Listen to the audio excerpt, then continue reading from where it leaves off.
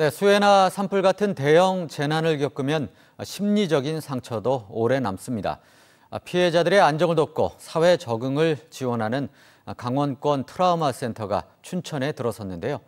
코로나 관련 심리 치료도 가능합니다. 최경식 기자입니다. 전신주에서 시작된 불꽃이 속초와 고성 지역을 시뻘겋게 집어삼켰던 동해안 산불. 여의도 면적의 3배가 넘는 산림이 잿더미로 변했고 1,400명에 달하는 이재민이 발생했습니다.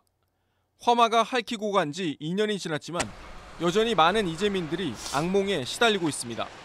잠을 잘 못 주무신다든지 아니면 깜짝깜짝 놀라신다든지 아니면 일상생활을 하면서 좀 무기력하시다든지 그런 증상들을 이야기하시는 분들이 있는데요.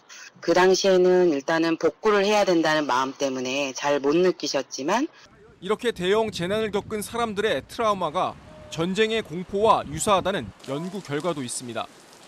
재난 피해자들의 심리적 안정을 체계적으로 지원하기 위해 보건복지부가 설립한 강원권 트라우마 센터가 국립춘천병원에 들어섰습니다.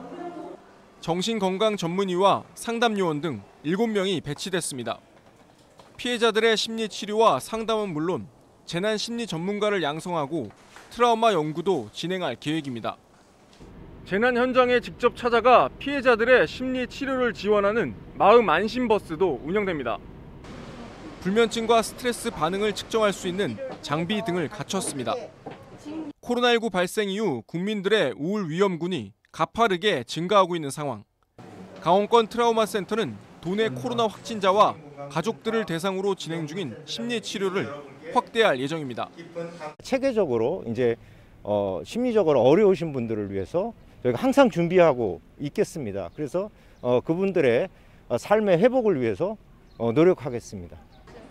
보건복지부가 운영 중인 트라우마 센터는 춘천과 서울을 비롯해 충청권과 호남권 등 다섯 곳으로 늘었습니다.